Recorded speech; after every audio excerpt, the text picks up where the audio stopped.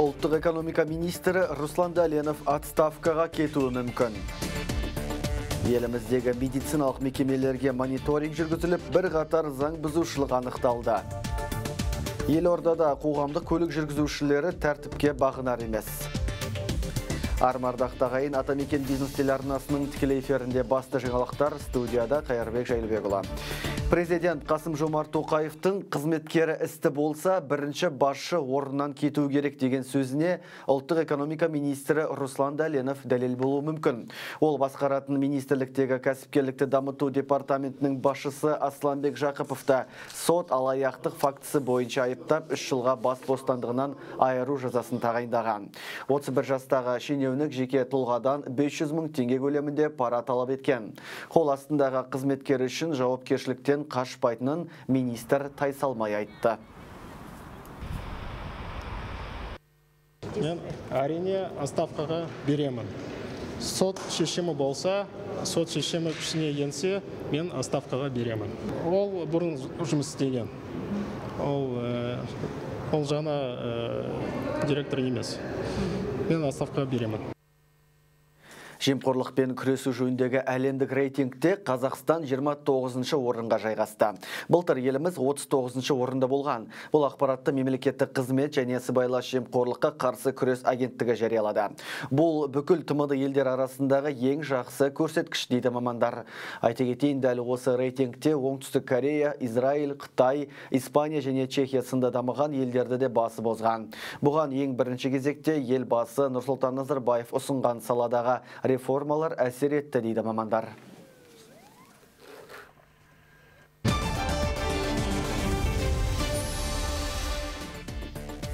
Жалғастырамыз. Маңғыстау облысында 12 жастағы баланың үстіне футбол қақпасы құлап өлтіре жаздады. Жетіншекке дереу операция жасалды. Бұл туралы облыстық денсаулық сақтау басқармасының баспасөз қызметінен хабарланды. Оқиға 29 мамырда кешкі жетілер шамасында Жетібай кентінде болған.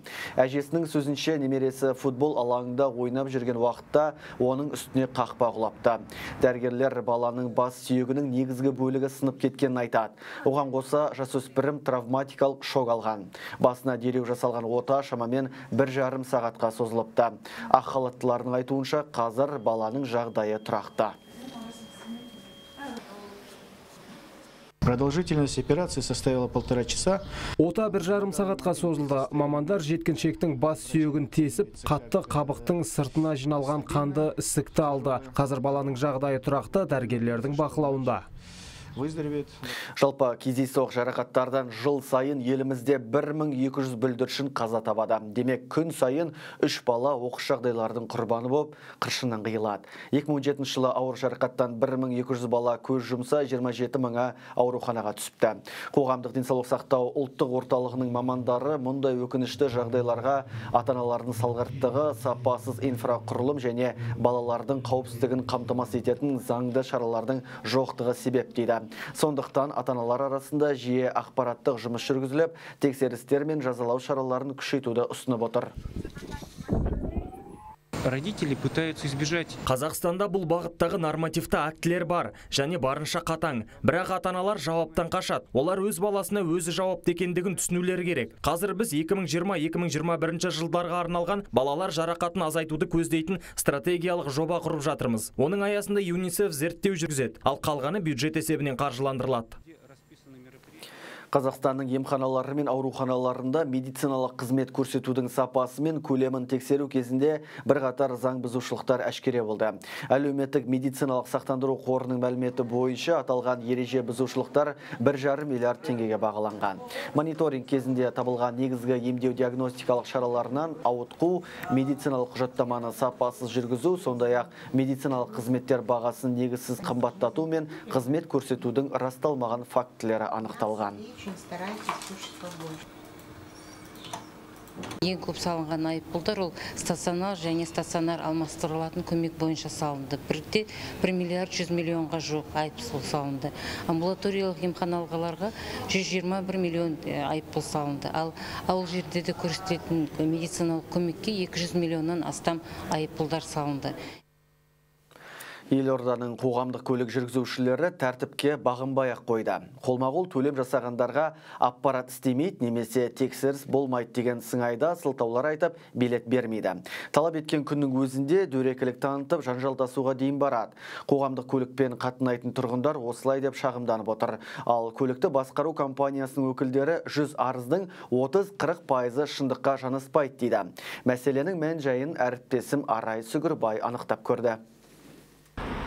Елордада автобусға арналған жолақ салынып, жүргізушілерді сабасына түсіретін сергек болса да, әлі де тәртіпке бағынбай келе жатқандар бар. Жыл басталғалы жол ережесін бұзған 800-ге жоқ көлік тізгіншісі жауапқа тартылған. Айыбы тек бұл ғана емес. Жол жүру қызметі үшін қолма-қол ақша төлейтін тұрғындарға билет бермей заңды белшесінен басатын көрінеді. Күнара автобуспен қатынайтын Ғалия Жайлаубаева мұндай жағдайдың жиі қайталанатынын айтып отыр. Кейде айтам билет қайта билет беріңіздер дегенде, олар өзіңе қарсы етіп өз қалтасынан беретіндей болады. Егер де уақытымен бәрі егер жүрген кезде адал төлеп отырса ақшасы бюджетке түсіп отырса автобус интервалы алыстамайды. Өздері тала нетпейді кондукторлардан автобустан билетті алып сұрап алса жұлып алса даже жұлып алуға да мүмкін. Ол өзінің хақысы.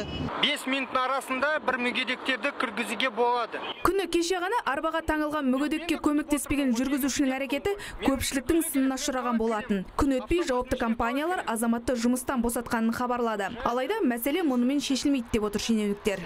Меніңше бұл бұның бәрін дұрыстап бір зерделеп тағы да бір нақты тексеріс өткізіп сараптама өткізіп нақты тиісті мына әкімшілік мемлекеттік орган осыған бір жауапты ретінде жұмысты жасау керек. Бұл өте күрделі мәселе себебі мына біздің халық деген күнделікті жүреді көптеген проблемалар кездеседі автобусқа кіре ақысын төлемеген жолаушылар болса небәрі бес айдың ішінде 40 миллион 793 мың теңге көлемінде айыппұл төлеген әлбетте бұл аз ақша емес заңгер аманжол есеннің айтуынша тексеруге келген инспекторлар істің мән жайын сұрамастан хаттама толтырудың шебері болып алған инспекторлар уәжінің уәжісі бойынша былай дейді адам әкімшілік кодекстің талаптары бойынша автобусқа кіргеннен кейін валидация жасау керек немесе ақшасын төлеу керек.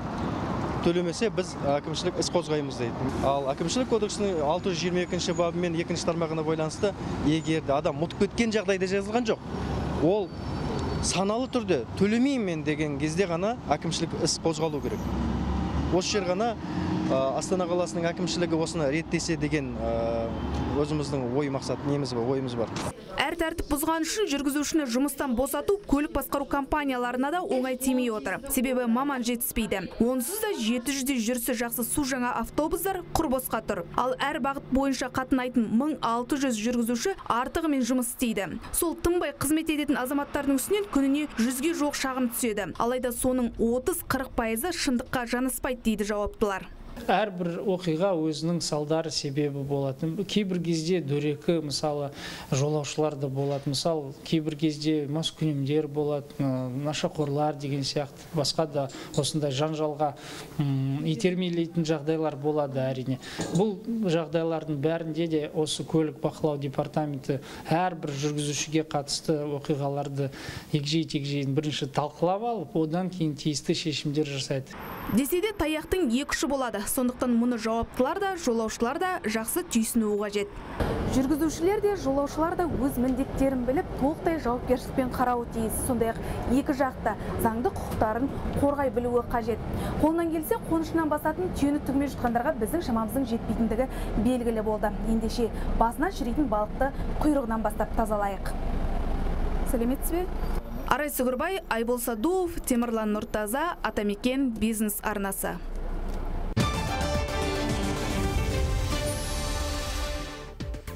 Хабарымызды жалғастырамыз. Қазақстан ОПЕК плюс келісімін ұзартуға қосылады, бірақ өзіндік талаптары болады.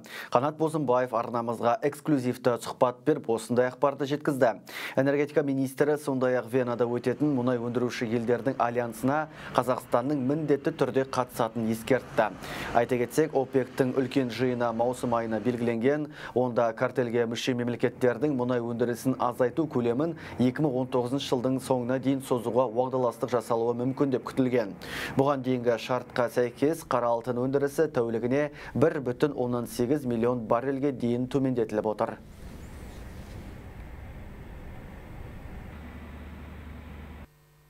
спек плюс жиындарға қатысады міндетті түрде өйткені қазақстанның қазақстанның үлесі қазір зор жалпы орташа бір де тоғыз миллион баррель күнделікті біз өндіреміз. Сондықтан бұл өте үлкен. Егер осы келісімшарт қазіргі болған келісімшарт ұзартылатын болса біз өзіміз жаңа талаптарды қойып оған оған қосылатын боламыз.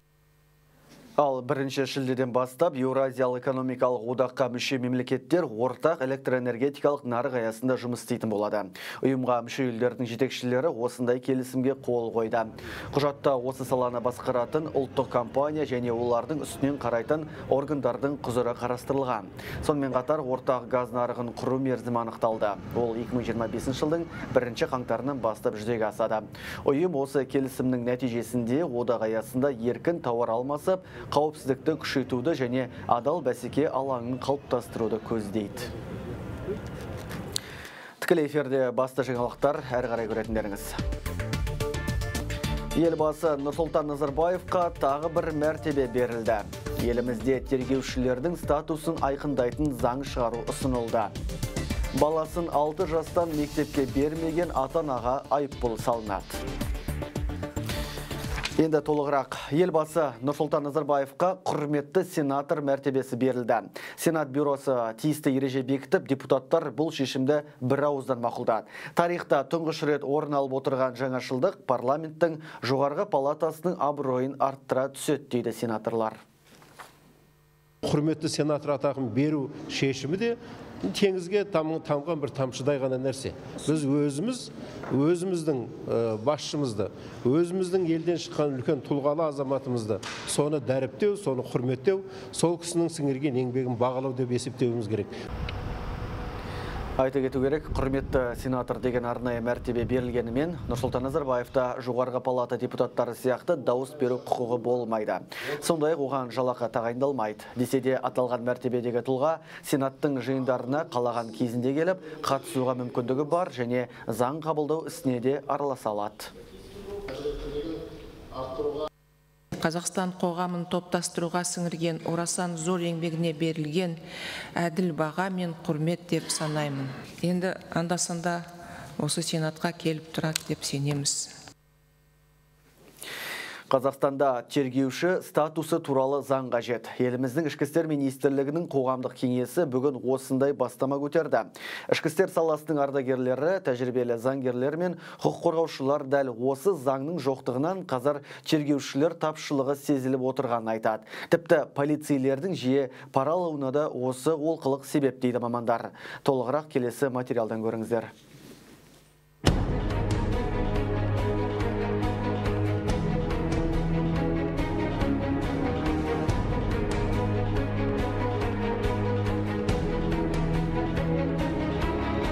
Паралып жатқан жерінен қолға түскен полицейлердің бейнетаспалары ғаламтор беттерінде толып жүр.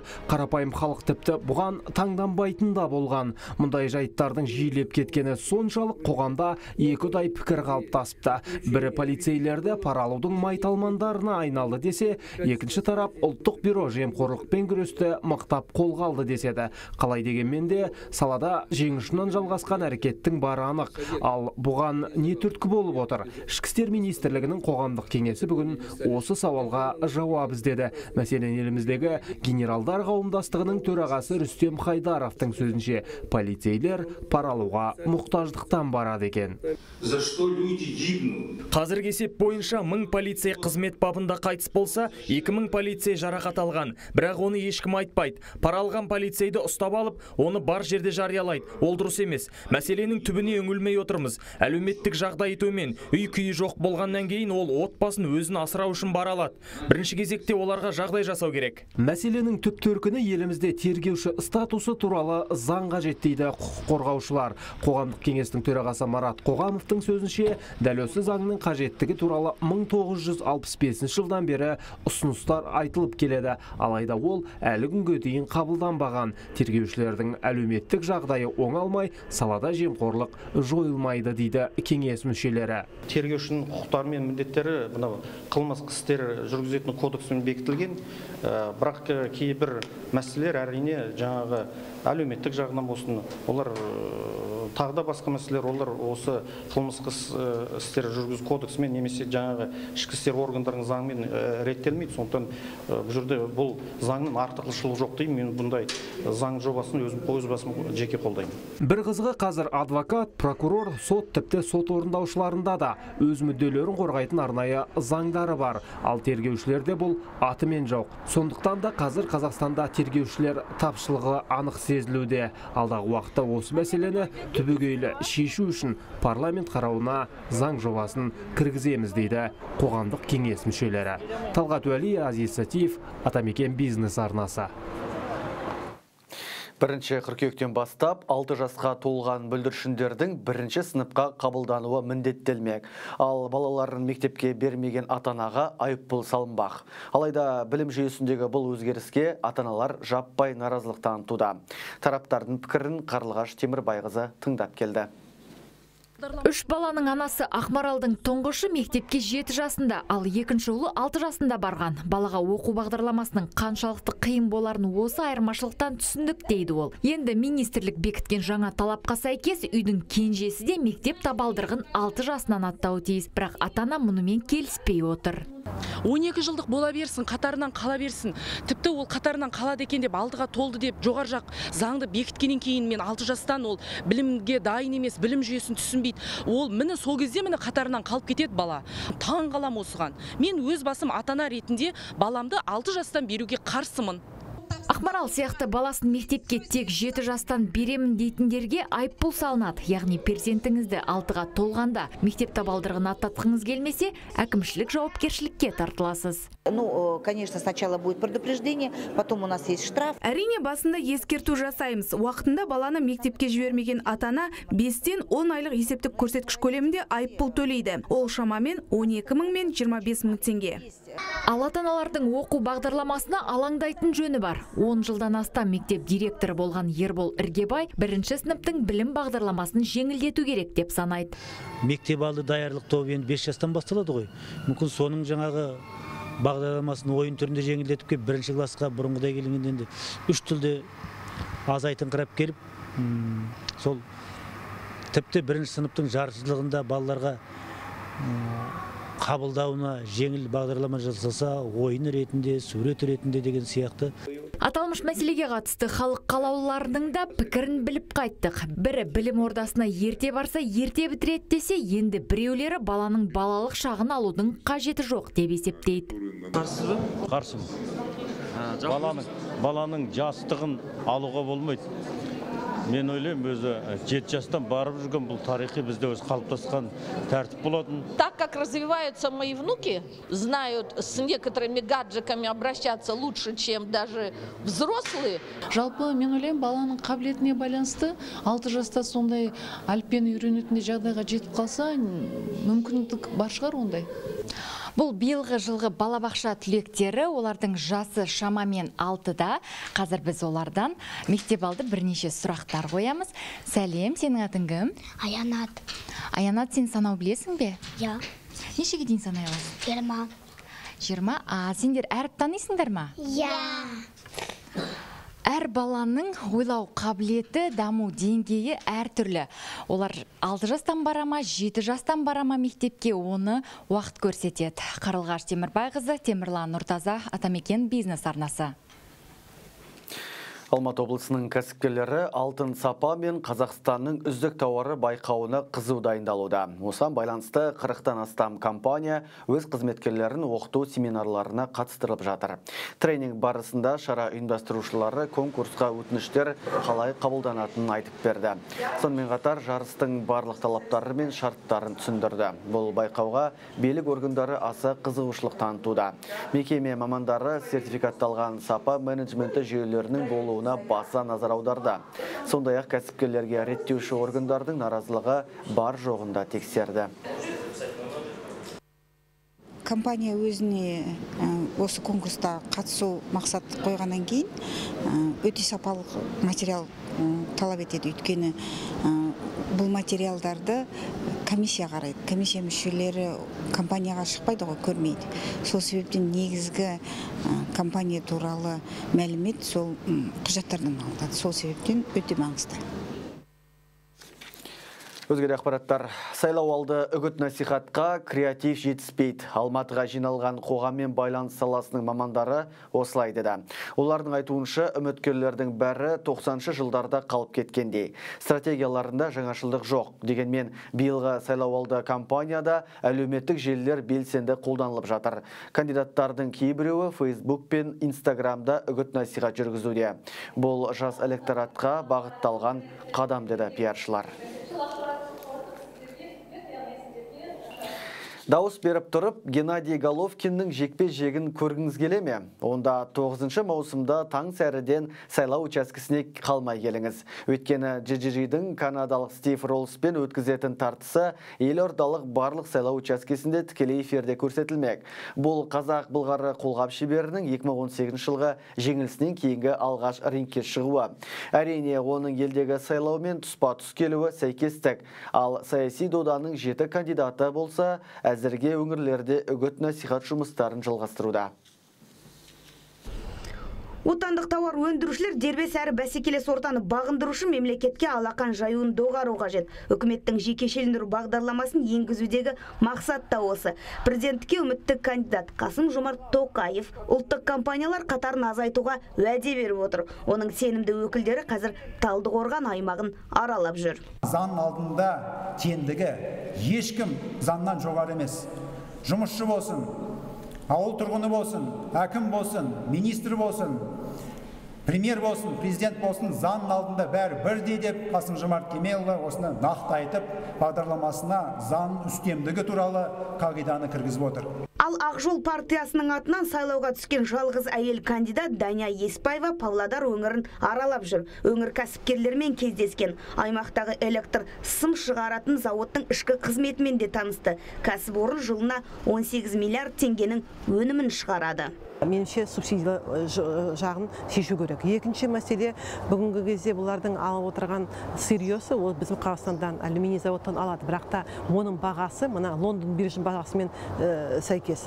А бірақ та қазіргі мына қасымыздағы россияда тап осындай мекеме өзінің россияда алатын мына алюминийді он пайыздан төмен алады. Бұл осы мекеменің шығарып жатқан продукциясы ана россиямен бәсекелестік болмай тұр деген. Кәсіпорындарды қолдап экономиканы дамыту мәселесін ауыл партиясы атынан шыққан кандидат төлеутай рахымбеков та маңғыстау жұртшылығына ескертті. Аймақтың ерекшелігі мұнда түйе ұстап шұбат алатын шағын шаруашылықтар көп. Міне дәл осы секторды үміткер. Егер президент болса қолдауға уәде беріп отыр. Осы жерде мысалы түйе шаруашылығы мысалы жылыжайлар жаңағы тамшылатып суару, суару арқылы ә, жасауға болады. Осыны ұйымдастыру керек. Ол үшін мемлекет ә, қомақты қаржы бөліп қолдау жолдарын көрсету керек. Сондықтан айтып отырғаным жаңа көлік транзиттік потенциалы ауыл шаруашылығы осындай жақтарын дамыту керек деп есептеймін.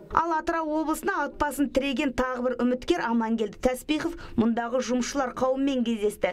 Бүгінде аймақтағы кәсіподақ ұйымының жетпіс пайызын бюджет саласының қызметкерлері құрайды. Ендігі міндет олардың әлеуметтік жағдайын әлдендіріп еңбегіне сай лайықты жалақы төлеу болып отыр. Бұл жұмыстар деген өте кәсіптік мамандықты талап ететін нәрсе. Екінің бір бұндай жұмыстар істей алмайды. Санаулы ғана мамандар осы салада бар.